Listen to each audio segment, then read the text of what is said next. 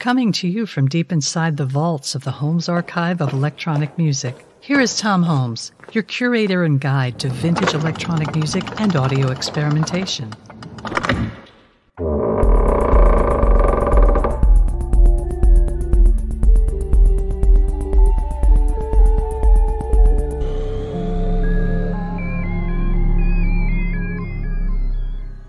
This episode Electronic Drone Music.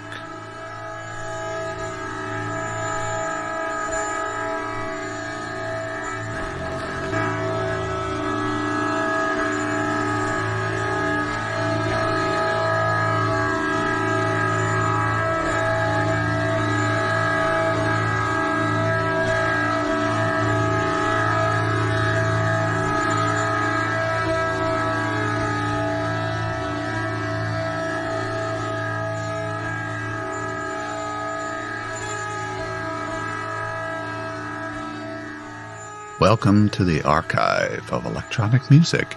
In a recent episode, I explored the use of silence as a compositional tool in electronic music.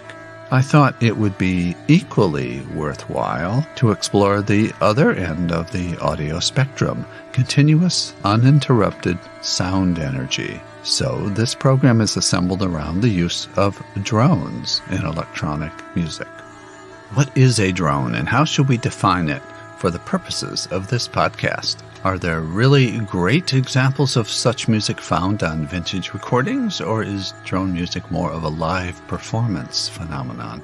To answer the second question first, there are some great examples of drone music found on vintage recordings from the 60s to the present, but they are somewhat rare and one needs to seek them out. Fortunately, the archive has many of these examples, and I will feature them here, arranged in chronological order to provide a little perspective on the evolving nature of the art of drones. As for the first question, what is a drone? Drones are certainly long, continuous tones Music created around drones can include a basic tone that is continuous and recurs while other sounds come and go. The drone can consist of a single sustained tone or chord, but there are many variations that incorporate gradual shifts to the harmonics, textures, microtones, and core sounds that can go unnoticed until you listen back to different sections of an extended work. I would add that the most common trait of all drone music is a suspension of tension or motion in the sound. This sense of oneness or balance gives the impression that a work is not moving in the musical sense, that it's suspended in time, in a kind of meditative state of mind. Not to say that a piece of drone music never changes, but in effect, the changes may evolve so slowly that they go largely unnoticed while you are listening. Each composer sets the course for a drone piece by defining a process that will be explored, going from soft to loud, adding a spare note from time to time, changing textures over the course of a piece, or adding elements that contrast with the drone, emphasizing that the core of the work is stable and unwavering. Drones generally have a consistent energy level. This could be low and slow or high and kinetic. We'll hear examples of the full range in this program. Composers interested in producing slowly changing textures and drones have an affinity with electronic music because it can provide an uninterrupted sound stream that the composer can fine tune with exactness. Any attribute of the sound a tone or a noise may become an element of a drone if treated in a sustained or gradual way. The format for this program is a little unique for the archive of electronic music. Normally, we play every work in its entirety, only occasionally using excerpts. But that approach isn't practical when the average length of the works is around 20 to 30 minutes each, sometimes up to an hour. So, for this podcast, I'm going to feature the first 12 minutes of each drone piece. I think that's long enough to get a real sense for a work while comparing and contrasting it to other drone works. We will start with a special case from 1948. It's Yves Klein's Monotone Silence Symphony. This work fascinated me because I have never really seen it mentioned as an influence, and there are no recordings of it that I know of, other than a recently made short video performance. Klein was a French visual and performance artist. In 1965, working with photographer Charles Wilp, he released an LP called Musique de Leer, or Music of Emptiness, that had no recorded sound to listen to just the surface noise of the phonograph needle. I should have included that in my silent episode, but in any event, back in 1947, Klein conceived a performance piece in which an orchestra would play only a single note continuously for 20 minutes, followed by another 20 minutes of silence. I've examined the score and can see that Klein also intended that the same note could be played in different octaves playing would have been staged so that one group of musicians could overlap another, both for reasons of fatigue, but also to allow smooth transitions for the wind instruments because players would need to take a breath. Having no real recordings to go by, I realized my own version for electronic instruments and will play a short segment here just to give you a sense for what this artist was thinking back in 1947. Like Cage's 4 minutes and 33 seconds from 1952, the Monotone Silence Symphony could certainly be interpreted as a work of performance art intended to prepare the audience for the experience of room silence following a long period of continuous sound. My version includes electronic instruments for multiple parts, each part playing the same note although in different octaves depending on the range of the instrument. The introduction of instrumental groups was planned in stages, each overlapping the previous grouping, gradually shortening in duration as the piece goes on. Then, we will hear the works of some true titans of drone music from vintage recordings. Please examine our playlist on the podcast website for the complete details about each recording. Let me provide this overview of what you'll hear.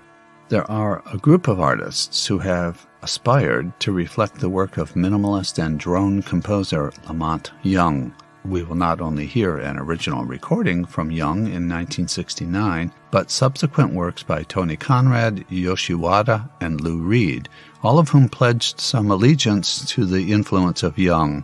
Reed's work in particular, metal machine music, is wholly on the other end of the meditative spectrum, a noisy, continuous bombardment of feedback and distortion. We will also hear several landmark works by women composers, Pauline Oliveros, Teresa Rampazzi, and Eliane Radigue. Radigue, in particular, fashioned many drone works using the ARP 2500 modular synthesizer exploring the microtonal possibilities of making minor shifts in the tonal spectrum using that instrument. We'll hear a live performance from 1972 of the Taj Mahal Travelers from Japan.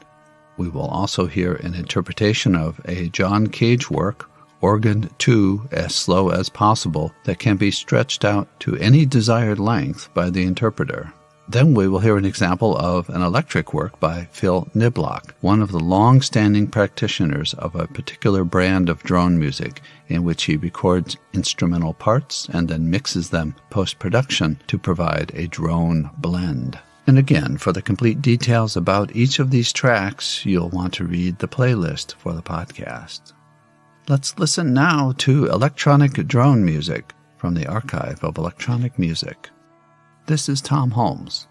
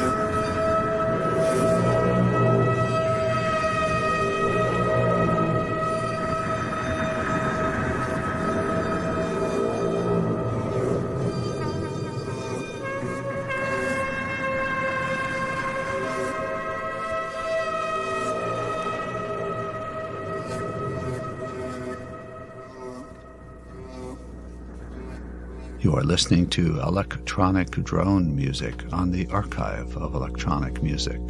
This is Thom Holmes.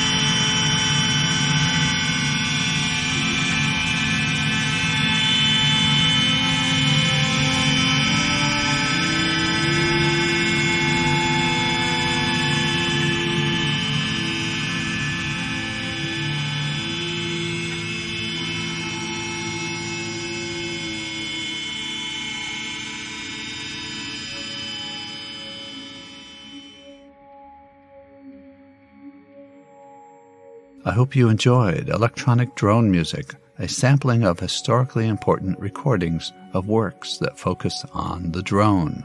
Details about all of the music can be found in the playlist on the podcast website. Check out my blog for the Bob Moog Foundation. There is a link on my podcast website. A transcript of notes for the program can be found on my blog, Noise and Notations, located at thomholmes.com. If you would like to learn more about the history of electronic music, please read my book, Electronic and Experimental Music published by Routledge in print or as an ebook. You may also want to read my book about sound art, also available on Routledge. If you enjoyed this podcast, I invite you to explore our library of past episodes. They span many genres, technologies, and artists associated with electronic music from symphonic rock to music for meditation and drones all inspired by vintage recordings from my archives. So long now from the archive of electronic music. Best wishes and happy listening.